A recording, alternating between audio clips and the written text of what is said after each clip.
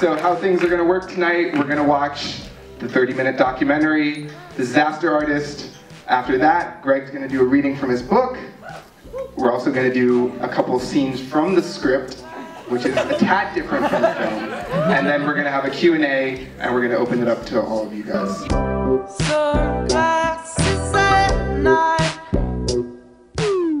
Um, chapter one, Oh Hi Mark.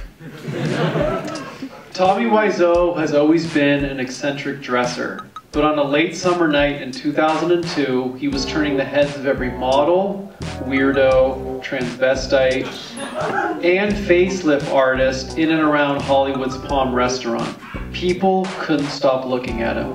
I couldn't stop looking at him. Even today, a decade later, I still can't unsee Tommy's outfit. Nighttime sunglasses, the dark blazer is loose and baggy as rain gear, sand-colored cargo pants with pockets filled to capacity. Was he smuggling potatoes? A white tank top, clunky Frankenstein combat boots, and two belts.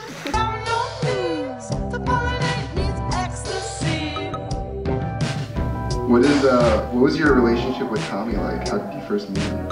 Um, well, ironically, I met him in an acting class where uh, where it all began, and I watched him go up and perform Shakespeare. The entire class was horrified. And what was that? And I just thought, you know what? There's something really interesting about that guy. He's really putting himself out there. And usually in an acting class, everyone's a little reserved and nervous, and I was that way as well. So when he went up there, he was just so free and started arguing with the teacher, and so I said, "That guy, I got to stick to that guy." And so I just went up. I actually approached him, and you know, to, to be my scene partner, and he thought it was. He thought that was kind of weird, but uh, we ended up playing football at Golden Gate Park, and it was the rest is the rest is history.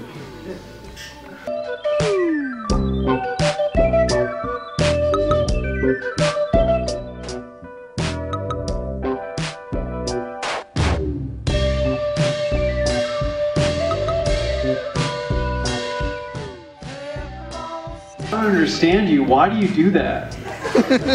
Because I love you. Sarcastically. You don't care, do you? See you later.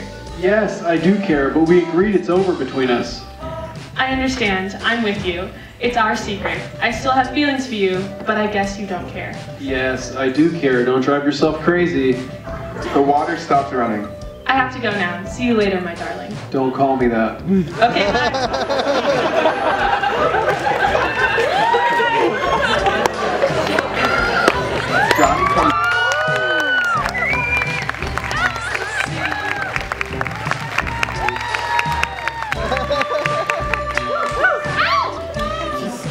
points at the joint. He offers the joint to Peter. You want some? He holds up his hand. No, man. You know I don't smoke that stuff.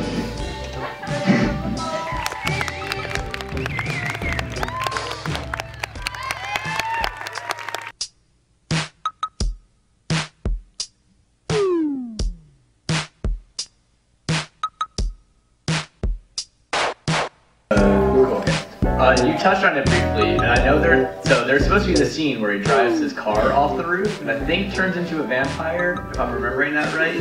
That was the intention, yeah. Yeah, and I know that kind of came up like in the middle of production. Did it ever like? Did you ever try to flesh that out and like actually work it into the story, or was that just sort of like an idea you had? It was just an idea. We were on the way to set. Um, he was having one of his Red Bulls. Usually, a lot of the creativity would come from, um, and so he tried to just push it on them that morning. And they're like, no, you know, he would listen to a couple people on set, some of the more experienced people, um, and yeah, they talked him out of it, bastards. You are tearing me apart, Lisa!